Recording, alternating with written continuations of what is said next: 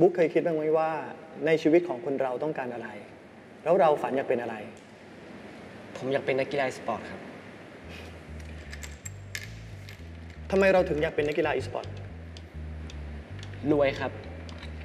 นักกีฬาอีสปอร์ตอันดับหนึ่งของประเทศไทยอะหาเงินได้เป็นล้านๆเลยนะครับ ทีมของประเทศไทยนี่เก่งนะครับหมอ แล้วเกมเนี้ยก็จะมีลงแข่งในเอเชียนเกมส์อีกด้วย แล้วถ้าผมได้เข้าทีมไปแข่งระดับโลกนะครับรวยเละ และพี่ๆพวกเนี้ยเขาก็อายุไม่เท่าไหร่กันเอง ไม่ต้องเรียนจบอะไรด้วย แค่เล่นเกมก็รวยได้ ก็จริงนะ ไม่ต้องเรียนหนักแบบหมอก็หาเงินได้หมอว่าเกมเมอร์บางคนน่าจะหาเงินได้มากกว่าหมออีกมั้ง อุตสาหกรรมเกมใหญ่มากจริงๆนะ แล้วหมอว่าคนที่คิดแบบบุ๊กต้องมีเยอะแน่ๆ นับเฉพาะเด็กไทยในวัยเรียนก็ประมาณ 14 ล้านคน นี่ยังไม่รวมผู้ใหญ่ที่เล่นเกมนะ 15%เป็นเกมเมอร์ 15%ของ 14 ล้านคน ก็ประมาณ 2.4 ถึง 2.5 ล้านคน ทีนี้บุ๊กลองคิดดูนะว่า 10%ของ 2 ล้านกว่าคนอยากเป็นนักกีฬาอีสปอร์ตแบบบุ๊กแปลว่าตอนนี้บุ๊กมีคู่แข่งประมาณ 200,000 กว่าคน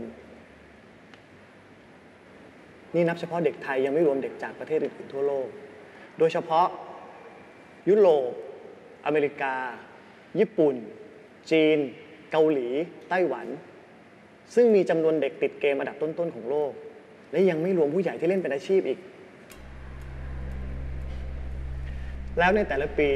บุ๊กคิดว่ารางวัลสำหรับนักกีฬาอีสปอร์ตมีกี่รางวัลหมอคัดเฉพาะรางวัลใหญ่ ๆ ก็ประมาณ 20 รางวัล นักกีฬาอีสปอร์ตเขาแข่งกันเป็นทีมถูกไหม ทีมหนึ่งมีประมาณ 5 คน แสดงว่ามีไม่เกิน 100 คนที่จะได้รับรางวัล และที่เหลืออีกไม่น้อยกว่า 249,900 คนที่จะไม่ได้รางวัล เคยคิดไหมว่าบุ๊กกับเพื่อนๆที่พลาด ต้องจ่ายต้นทุนอะไรไปบ้าง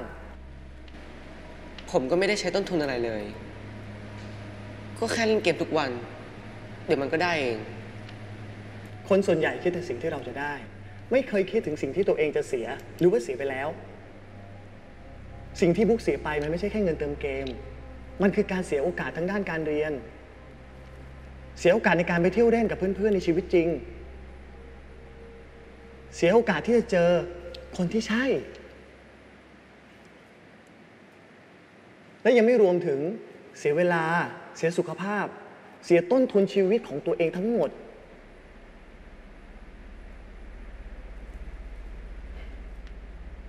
สิ่งที่หมอพูดมาทั้งหมด หมอไม่ได้จะตัดสินว่า ความฝันของบุ๊กเป็นไปไม่ได้ หรือว่าบุ๊กไม่สามารถทำความฝันของตัวเองให้เป็นจริงได้ แต่สิ่งที่หมออยากจะถามบุ๊กก็คือ เป็นไปได้ไหม